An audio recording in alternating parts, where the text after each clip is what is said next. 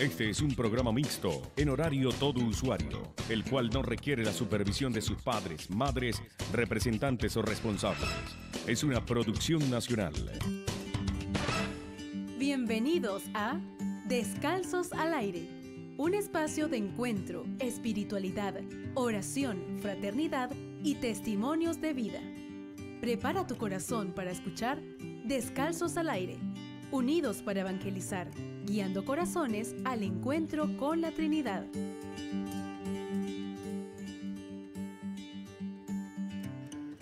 Bajo la bendición del Dios de Israel, con la protección del Espíritu Santo y la dirección de la Administradora Virgen María de Jerusalén, le damos la bienvenida a todos los que nos están sintonizando a esta hora a su programa Descalzos al Aire. Quien les habla, Fray Jonathan Pedrosa, Carmelita Descalzo, certificado de locución número 52796 de la Universidad Central de Venezuela. Gracias a todas las personas que nos están sintonizando, gracias pues por estar siempre allí, martes a martes a las 4 de la tarde, aquí en Radio Natividad. Recuerden también que pueden sintonizarnos, pueden escucharnos y mirarnos a través de la dirección www.radionatividadtv.com. Allí se abren pues más espacios para poder sintonizar la programación de nuestra radio católica.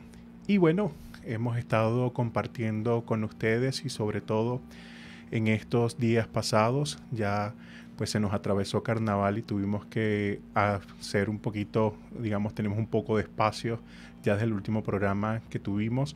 Y bueno, una de las cosas que comenzábamos a compartir con ustedes era que íbamos a tener unos programas dedicados de manera especial al discernimiento espiritual. ¿Qué es el discernimiento? ¿Cuál es la importancia del discernimiento para la vida de todo católico? Y de manera especial, pues para todos aquellos quienes en medio de su vida, pues también tienen pues en sus manos la importancia o tienen la tarea fundamental o la misión fundamental de acompañar grupos, de acompañar comunidades, acompañar personas herramientas que puedan ayudarnos a cada uno de nosotros a descubrir cuál es la voluntad de Dios, qué es lo que Dios quiere. Y una de las cosas pues que escuchábamos nosotros la vez pasada era poder preguntarnos qué es la voluntad de Dios. Y comenzábamos diciendo pues que una de las cosas importantes que podemos encontrar de, en, en la Sagrada Escritura, en la primera carta a Timoteo, cuando si el mismo San Pablo nos dice que Dios quiere que todos los hombres se salven y que lleguen al conocimiento de Dios. La importancia pues de reconocer o de conocer en este caso la voluntad de Dios es precisamente esa, descubrir pues cuál es el designio de Dios y su designio, su deseo más profundo, y pudiéramos plantearlo de esta manera, su sueño más grande es que todos los hombres realmente podamos ser capaces de nuestra vida hacernos conscientes de que Dios no quiere, como en este tiempo de cuaresma lo repetiremos en los salmos, pues no quiere la muerte del pecador, sino que viva, sino que se arrepienta y se convierta. Y de manera especial, pues el hecho es que Dios quiere, Dios ama a sus hijos y por lo tanto, pues lo que más desea en su corazón es que se salven. Y de allí, pues partimos para poder descubrir nosotros la voluntad de Dios en nuestra vida, de esta premisa que nos plantea el apóstol San Pablo. Y bueno, vámonos a una pausa comercial al inicio de nuestro programa y sobre todo vamos a ir descubriendo esos elementos que son necesarios para, para conocer más acerca del discernimiento. ¿Qué es discernir? ¿Qué es el discernimiento espiritual? Eh, no es un tema que vamos a agotar pues, en este programa, sino que cada 15 días vamos a estar ahondando cada vez más y más, y sobre todo desde la espiritualidad del Carmelo Descalzo. Ya regresamos.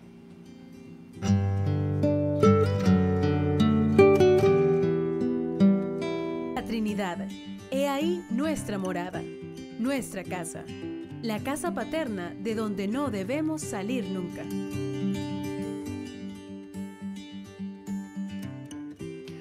Muy buenas tardes, queridos hermanos. Regresamos a este su espacio Descalzos al Aire. Quien les habla, Fray Jonathan Pedrosa, quien este día les está acompañando y en esta serie de programas acerca del discernimiento espiritual. Como habíamos dicho, bueno, una de las cosas importantes del discernimiento es descubrir la voluntad de Dios en nuestra vida, qué es lo que Dios quiere y como decía anteriormente, En la primera carta de San Pablo a Timoteo nos dice que Dios quiere que todos los hombres se salven y lleguen al conocimiento de Dios. Es una de las cosas importantes, de manera especial, el hacernos conscientes de lo que Dios desea de nosotros. ¿Cuál es su deseo más profundo?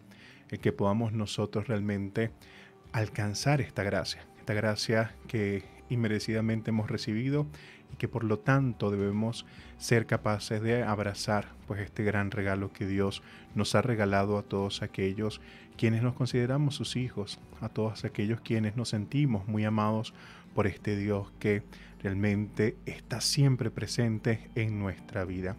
Y una de las cosas importantes también es reconocer que bueno, el proyecto de Dios eh, al haber darnos, darnos al darnos a cada uno de nosotros y alcanzarnos este don maravilloso de la salvación, es que principalmente podamos cada uno de nosotros acogerla y vivir hacia la eternidad. Es decir, tener realmente nuestro pensamiento, nuestra mente, nuestro corazón y que todas nuestras acciones pues vayan orientados a alcanzar esta gracia para que podamos vivir plenamente desde el amor pues ese premio que Dios pues nos ha dado a cada uno de nosotros pero será importante en este camino fundamentalmente conocer a Dios, qué es lo que Dios quiere de cada uno de nosotros. También es fundamental poder comprender que la voluntad de Dios tiene como proyecto común o como proyecto, perdón, la unión, la unión con Dios. Dios es Dios nos ha creado a cada uno de nosotros y por lo tanto el ser humano es el centro de la obra de su obra creadora somos imagen y semejanza de Él y también es el hecho de que junto con el mismo Dios podemos compartir esta gracia, por eso, por su gracia, esta vida divina a la cual ha sido llamado el ser humano.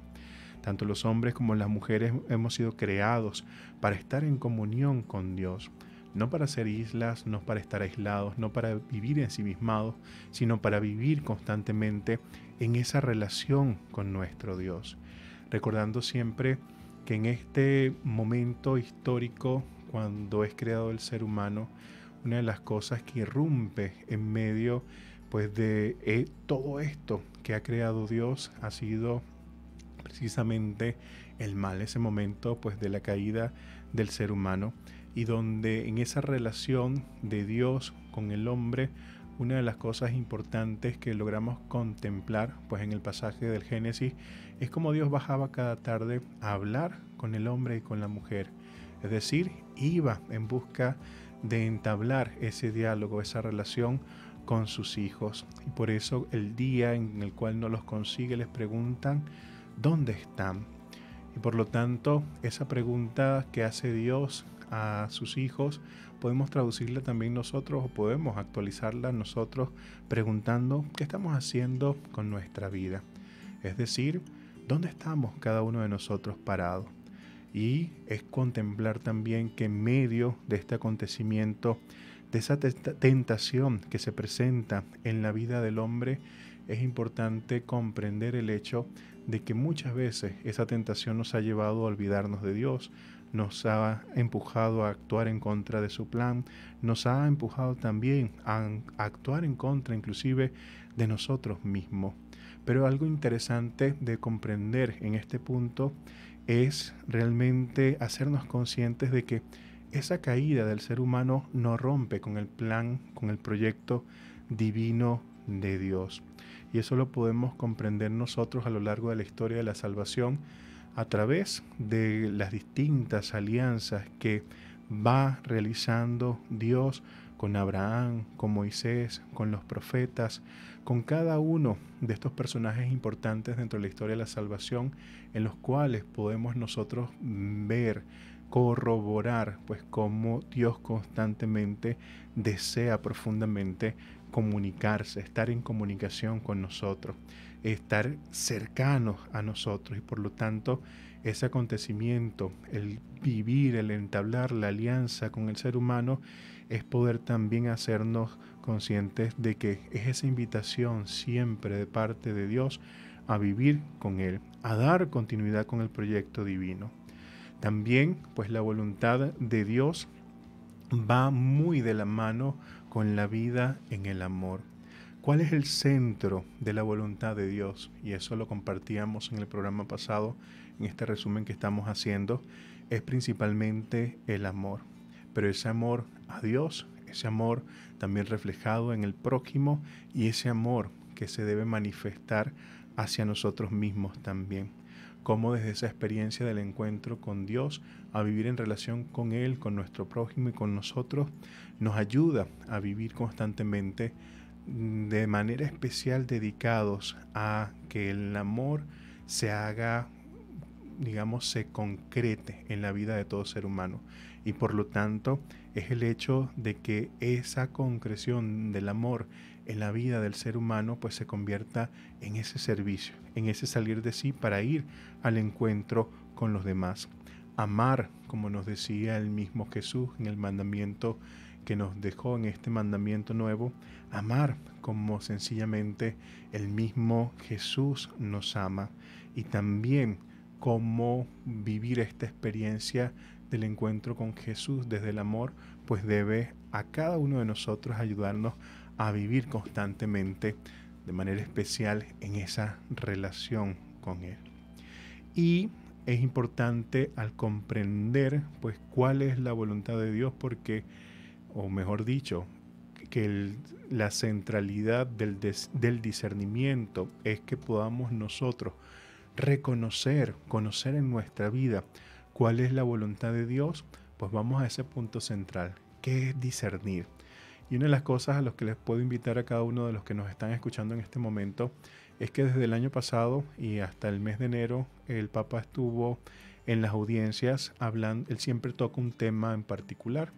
Y el tema que tocó, pues en estos meses, desde el mes de noviembre hasta el mes de enero, fue acerca del discernimiento. Yo creo que es importante que podamos nosotros, pues, buscar cada una de esas audiencias y ver qué es lo que nos plantea el Papa. Yo simplemente el día de hoy, pues, le voy a compartir un poquito esa primera audiencia en la cual pues habló acerca del discernimiento y nos dice el mismo Papa Francisco que es discernir cuando hablamos del discernimiento, el Papa Francisco nos dice que, bueno, hablar de discernimiento es hablar de elección, pero sobre todo la elección desde la propia vida.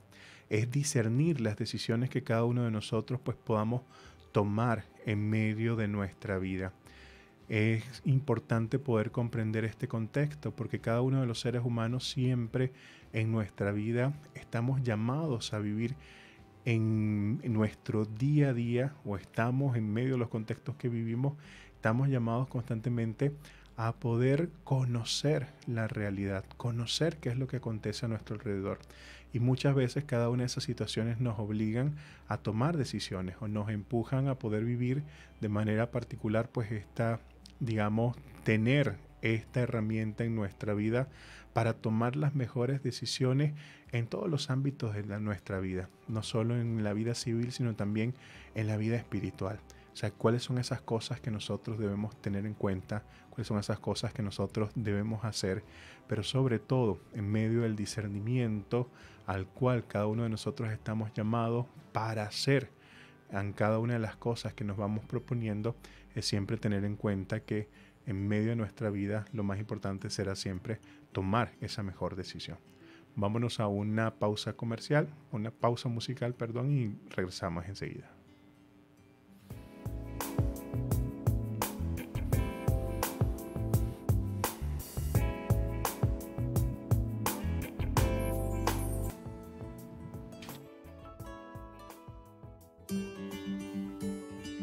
Vivo tu encuentro con la Trinidad.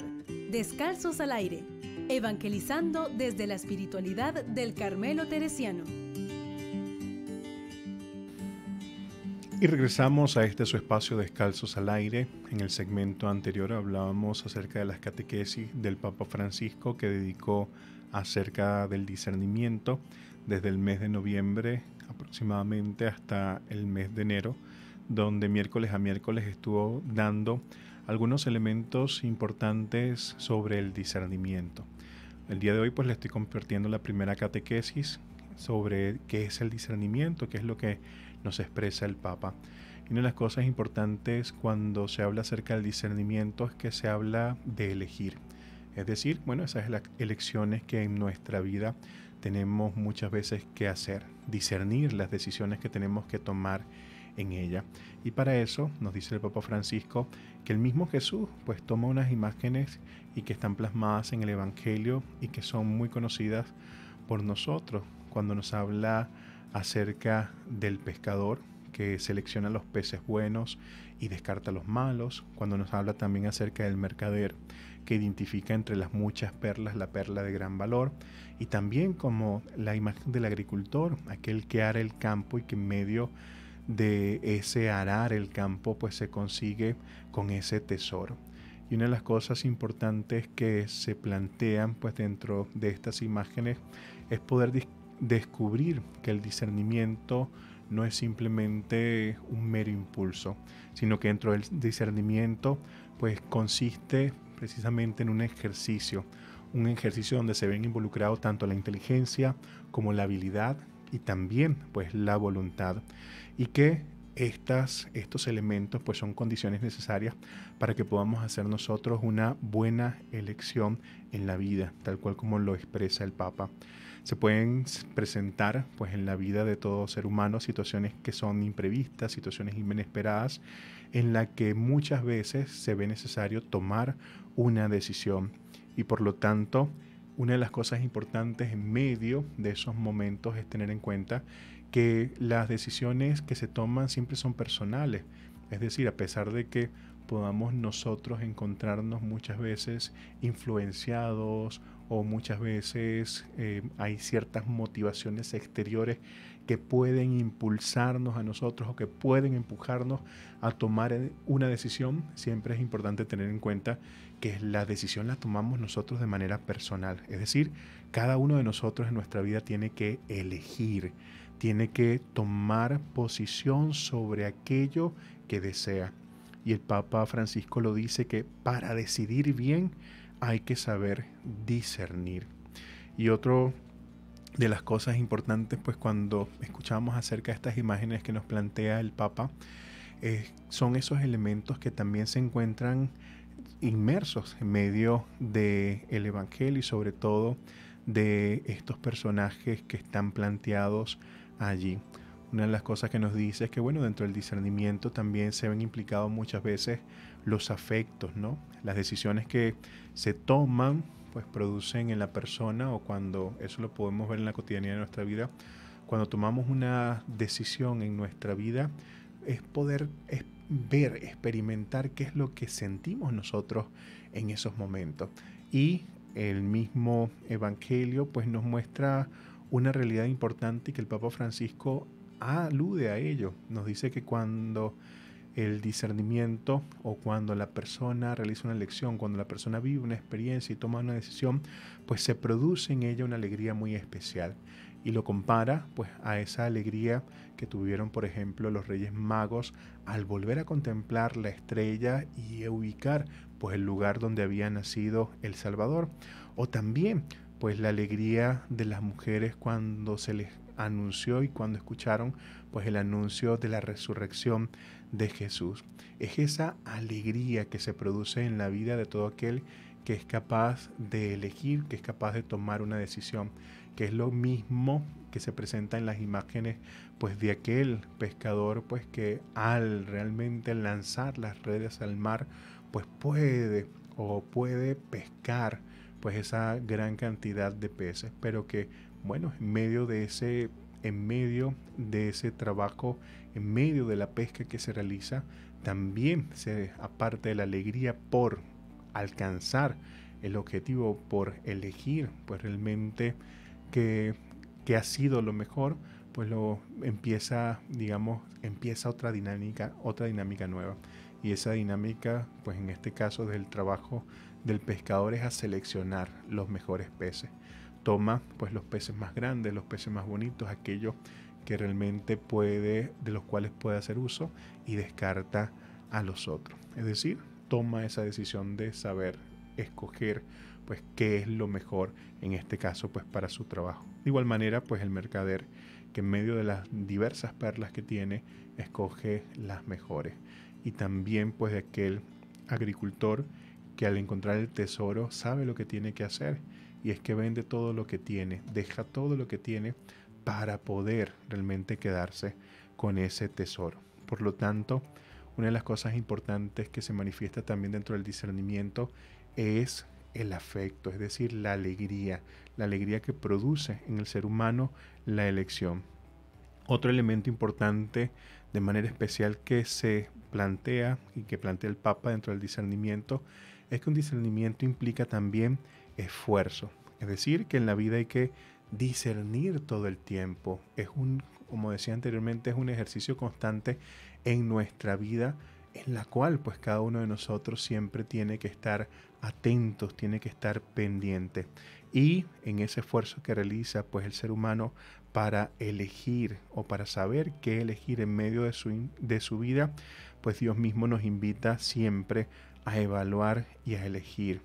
Y elegir pues desde la libertad en la cual pues cada uno de nosotros hemos sido creados. Esa libertad pues que Dios mismo nos ha dado y que debemos saber nosotros hacer uso en nuestra vida. Y otra cosa importante que se manifiesta dentro del proceso de discernimiento es que, bueno, es un proceso arduo, es un proceso que nos ayuda a nosotros a descubrir qué es lo que realmente cada uno de nosotros necesita. Y el Papa Francisco, finalizando, dice que será fundamental y es necesario para discernir el conocimiento propio, es decir, saber nosotros qué es lo que es bueno y también tener en cuenta que no simplemente basta con elegir, no simplemente basta con escoger qué es lo mejor, sino que también dentro de ese discernimiento lo más importante será descubrir en medio de nuestra vida esa relación filial con Dios y que ese sentirnos hijos, ese ponernos en las manos de Dios es lo que nos va a ayudar, nos va a ayudar a cada uno de nosotros a siempre escoger qué es lo mejor, escoger y tomar las decisiones pues a la cual pues nos invita Dios.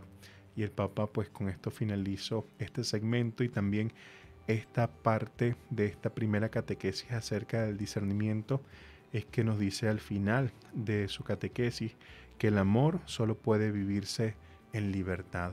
Y en esa libertad a la cual cada uno de nosotros como hijos estamos llamados a tener esa conciencia, esa consideración en nuestra vida de darnos cuenta qué es lo que Dios quiere para nosotros en cada una de las cosas que nosotros hagamos. Vámonos a una pausa musical y regresamos en breves momentos.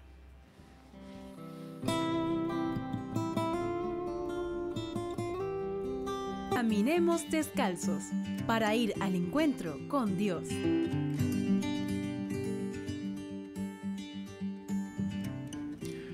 Y regresamos y en esta tarde en su programa Descalzos al Aire estamos hablando acerca del discernimiento. Hemos planteado que el discernimiento es fundamentalmente para que en la vida de todo cristiano, de toda persona, pues es encontrar la voluntad de Dios. ¿Cuál es esa voluntad de Dios? Pues esa voluntad de Dios a la cual cada uno de nosotros hemos sido llamados en primer lugar es hacernos conscientes de que Dios nos ha alcanzado la gracia de ser salvados, nos ha alcanzado la gracia de poder descubrir en nuestra vida pues el, infinito amor de este Dios que no deja cada día de alcanzarnos, de dejarse alcanzar. Pudiéramos expresarlo muchísimo mejor de esa manera, que se abaja a nosotros para que podamos comprender qué es lo que Dios quiere de cada uno de nosotros. Pero a veces no es tan fácil el poder nosotros descubrir cuál es esa voluntad de Dios, qué es lo que Dios quiere de cada uno de nosotros. Pero sí es importante, por lo tanto, para descubrir la voluntad de Dios, el discernimiento. Y ya escuchábamos que el Papa Francisco nos dice que dentro de ese discernimiento siempre será importante tener en cuenta que es una elección y por lo tanto hay ciertas condiciones necesarias para que cada uno de nosotros al momento de hacer esa elección y poder así eh, descubrir la voluntad de Dios en nuestra vida, son esas condiciones que necesitamos y que a través del Evangelio, a través de esas imágenes que nos coloca, nos pone el Papa, nos dice fundamentalmente que es importante siempre que detrás de cada elección pues será importantísimo tener en cuenta y del discernimiento de manera especial la inteligencia, esa habilidad y esa voluntad. Cuando hablamos de inteligencia yo creo que es importante tener en cuenta una cosa. Siempre en nuestra vida se presentan distintos momentos en los cuales tenemos que elegir, tenemos que tomar una decisión. Y por lo tanto las decisiones no se toman a la ligera. Las decisiones no se toman este, sin pensarlas. Es importante que cada uno de nosotros tome el tiempo necesario para saber escoger. No apresurarnos, no precipitarnos al tomar las decisiones, pero tampoco tener miedo de caer tal vez en un ciclo en el cual pase tanto tiempo en el cual sigamos constantemente intentando tomar una hacer una elección, pero no la hacemos por miedo. Pero aquí es importante tener en cuenta que lo que decíamos, bueno, estamos llamados a vivir desde el amor y el amor pues no es cobarde. El amor nos ayuda a nosotros a arriesgar en medio de nuestra vida, a tomar esas decisiones que nos empujan precisamente a descubrir qué es lo que Dios quiere en nuestra vida. Y sobre todo es la que realmente nos da ese valor necesario para también asumir las responsabilidades. Pero es importante pues tener nuestro espacio para calmarnos, para sosegarnos, para descubrir pues y ver cuáles son esas opciones que tenemos. Es decir, es importante que podamos nosotros pensar, que podamos nosotros reflexionar, que podamos nosotros poner en las manos de Dios aquello que nosotros necesitamos discernir aquella elección que necesitamos hacer en nuestra vida, en los distintos ámbitos de ella.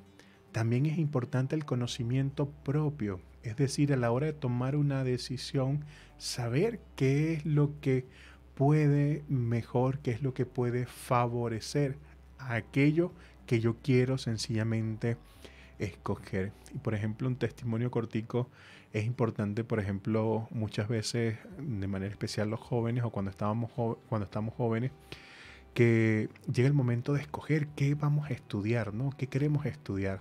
A veces las voces exteriores nos dicen, bueno, estudia esta carrera porque con esta carrera vas a tener estatus, con esta carrera vas a tener dinero, con esta carrera vas a tener X o Y cosa. Y a veces nos dejamos mover por esas situaciones. Pero resulta que si nos detenemos y pensamos, reflexionamos, pudiéramos preguntarnos, ¿realmente yo tengo las habilidades para poder eh, ejercer esa profesión, para poder realmente, este, digamos, eh, realizar aquello que tal vez mis padres, mi comunidad, pues la sociedad me dice que haga? ¿O soy capaz de descubrir en mi vida, bueno, ¿para qué soy bueno? Y realmente, ¿qué es lo que quiero? ¿Qué es lo que deseo elegir? Porque recordemos que Dios también a cada uno de nosotros nos ha dado la libertad. Y por otro, pues la voluntad, es decir, bueno, aquello que nos empuja a nosotros en medio de, nuestra libertad de ser capaces de poder sencillamente escoger, escoger qué es lo mejor, escoger qué es realmente lo que nos puede ayudar a cada uno de nosotros a hacer, a descubrir pues lo que Dios quiere pues para nuestra vida. Es ese también muchas veces empujarnos a tomar esas decisiones. Pero bueno, esas decisiones pues se toman sencillamente desde aquello que realmente Dios mismo va poniendo en nuestro camino. Y en esto sí nos puede ayudar pues Santa Teresa de Jesús. Ella cuando se plantea y se pregunta qué es la voluntad de Dios, pues ella claramente tiene como, vamos a decirlo así, una respuesta doble. Ella dice que la voluntad de Dios consiste en que vivamos unidos a Él en perfección de amor. Es decir, dos cosas son en este punto, pues una cosa es importante, bueno, vivir nuestra vida en esa perfección de amor. Y bueno, una de las cosas importantes a la cual, y continúa ella expresando, bueno, ¿cómo se manifiesta esa voluntad de Dios? Ok, consiste en que vivamos en la perfección de amor, pero también dos cosas surgen de esta realidad. Y una es que podamos ser capaces desde el amor de amar a Dios. Ella dice amar a su majestad. Y lo otro es el amor al prójimo. En resumen, para ella, pues vivir la voluntad de Dios o la voluntad de Dios consiste en dos cosas que serán fundamentales. Amar a Dios y amar al prójimo. Y una de las cosas importantes, una de las cosas fundamentales es descubrir también en la vida que, bueno, esa voluntad divina está orientada al amor, pero sobre todo el amor al prójimo. Es decir, que en el amor al prójimo es donde nosotros logramos palpar que verdaderamente en medio de la dinámica de nuestra propia vida estamos o podemos corroborar que estamos haciendo la voluntad de Dios. Una de las cosas que pudiéramos preguntarnos nosotros, y yo creo que Santa Teresa nos puede, Santa Teresa de Jesús o Santa Teresa de Ávila nos puede ayudar a cada uno de nosotros, es que en este camino que vamos haciendo nosotros, este paso a paso que vamos dando en medio de nuestra vida, será siempre fundamental el hecho de tener claro cuál es nuestro objetivo. Y para Santa Teresa lo tenía. Uno, pues sencillamente el hecho de vivir constantemente en su vida unida a Él. Pero esa unión con Él, ¿cómo se consigue? Una de las intuiciones maravillosas de Teresa es que esa unión con Dios se consigue desde el amor. Pero ese amor que se debe manifestar obviamente desde nuestra vida, a Dios a través de las distintas cosas que podamos nosotros hacer, pero también se manifestará directamente en el amor al prójimo, es decir, en esa persona. Allí es donde podemos nosotros concretar esta experiencia. Esto a lo cual pues sencillamente el mismo Dios nos invita. Pudiéramos preguntarnos, bueno, ¿Qué señales podemos nosotros descubrir en nuestra vida? ¿Cuáles son esas señales que pueden estar presentes que me pueden ayudar a descubrir a mí que realmente estoy amando a Dios? Y Teresa pues tiene un texto muy hermoso en su libro Camino de Perfección en el capítulo 40, donde nos dice, aquellos quienes verdaderamente pues viven este amor a Dios, abro comillas, todo lo bueno aman, todo lo bueno quieren, todo lo bueno favorecen, todo lo bueno loan. Con los buenos se juntan siempre y lo favorecen y defienden. No aman sino verdades y cosa que sea digna de amar. ¿Pensáis que es posible quien muy de veras ama a Dios amar vanidades? Ni puede ni riquezas, ni cosas del mundo, de deleites, de honras, ni tiene contiendas ni envidias, todo porque no pretende otra cosa sino contentar al amado. Anda muriendo porque los ame y así ponen la vida en entender cómo le agradarán más. Por lo tanto, aquella persona que realmente quiere hacer la voluntad de Dios en su vida, como lo dice Teresa y lo resume de esta manera, pues todo lo que siempre buscarán es lo bueno, buscarán siempre favorecer la bondad, siempre lo harán o siempre alabarán lo bueno que vean en las otras personas, siempre defenderán incluso el bien y desterrarán de su vida pues todo aquello que sencillamente sea contrario a esto.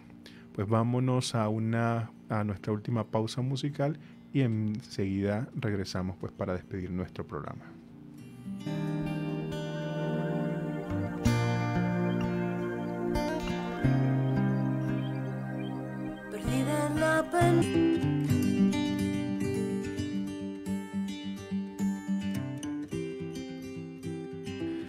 Llegamos al último segmento de este programa del día de hoy, en el cual hemos estado hablando acerca del discernimiento. Recordemos que va a ser una serie de programas en las cuales vamos a estar hablando acerca de este tema tan importante pues para la vida de todo cristiano, para toda persona quien realmente desea descubrir la voluntad de Dios en su vida. Y nos introducíamos un poco para descubrir qué es para Santa Teresa de Jesús la voluntad de Dios. Y para ella, pues la voluntad de Dios consiste precisamente en esto, en que vivamos unidos a Él, a Dios, en perfección de amor. Y que esta realidad se manifiesta de dos maneras que son fundamentales y que ya el mismo Jesucristo nos los decía. El amor a Dios, y ella lo dice, el amor a su majestad y al prójimo. Es decir, el amor a Dios y el amor al prójimo. Y para aquellos quienes verdaderamente desean tener en cuenta, bueno, cuáles son esas señales que pueden ayudarme a mí a descubrir que estoy haciendo la voluntad de Dios en mi vida, de que realmente estoy descubriendo en mi vida ese verdadero amor a Dios. Santa, Santa Teresa pues nos lo dice, que bueno, esas personas son las que realmente andan en esa búsqueda siempre de lo bueno y de los buenos. Eh, son esas personas que viven en esa constante proyección hacia el bien. Son esas personas en las cuales nace un compromiso por la verdad. Son aquellas personas que han desterrado de su vida o están en este proceso de su vida desterrando pues la superficialidad, desterrando pues esas ambiciones que no tienen que ver con lo eterno y de manera particular pues viven en sus vidas esa preocupación en descubrir en cómo amar cada vez más en su vida a Dios.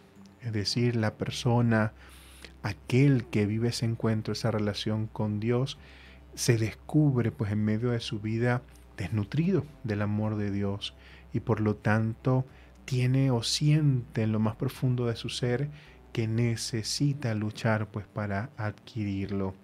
¿Y cómo? se preguntaba Teresa y ella lo decía, bueno, determinándose a obrar y padecer y hacerlo cuando se ofreciere, es decir, obrando, porque el amor no es inactivo, el amor es dinámico, el amor está constantemente en movimiento y también pues en medio de esta búsqueda de la voluntad de Dios de descubrir qué es lo que Dios quiere para nuestras vidas, tenemos que tener en cuenta de que, bueno, toda la persona que desea realmente vivir esta experiencia en su vida sabe que tiene que determinarse a obrar y a padecer por aquello o hacer en su vida pues cuanto pudiere y ofreciere pues para Dios.